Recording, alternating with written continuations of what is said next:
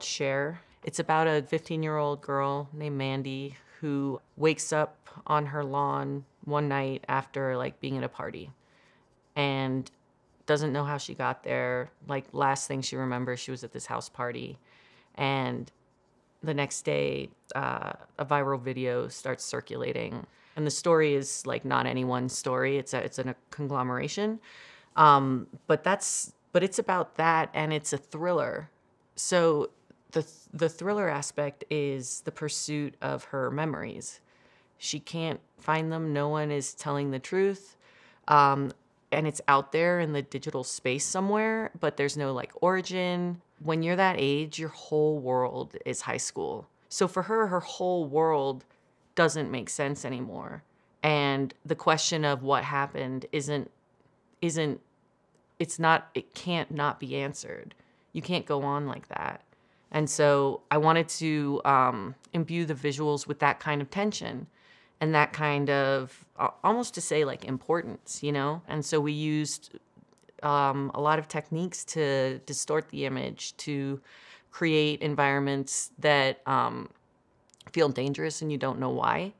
Something we did that was a very, uh, you know, it's a decision. Once you start it, you cannot go backwards. Was we shot on, we shot anamorphic on the mini, but we cropped at two instead of uh, 239. And we did that because we wanted to use the part of the image that was the most compressed. That was one of the sort of base instruments we gave ourselves. Was this instead of like, you know, shooting regular anamorphic or regular 239 or regular or letterboxed or whatever, any of these any of these formats that we feel comfortable in, we kind of gave ourselves something that was not comfortable. And um, and we had to discover how to how to create the claustrophobic world that we wanted to. Um, and I think we made the right choice in terms of like we found a tool that takes that step. And we can't untake that step. We can't second guess because it's built into the DNA of the image. Because my lenses were not flexible at all, shooting on a mini, which is so flexible in terms of dynamic range, in terms of um, ways of dealing with skin tone, um, I was just, it was never a question whether or not I would or wouldn't shoot on an Alexa of some kind. Um, but I would be just so glad I made that decision because it was the only decision that made my life like real simple and like and confident.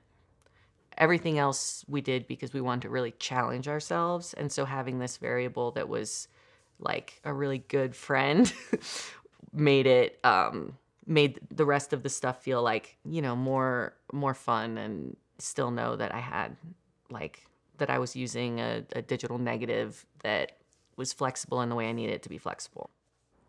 I think that young women seeing this and being able to have a window into someone who's experiencing this, not just like a spectacle on the internet, but someone's real experience, I think that they will feel more empowered, is my hope, um, and less alone.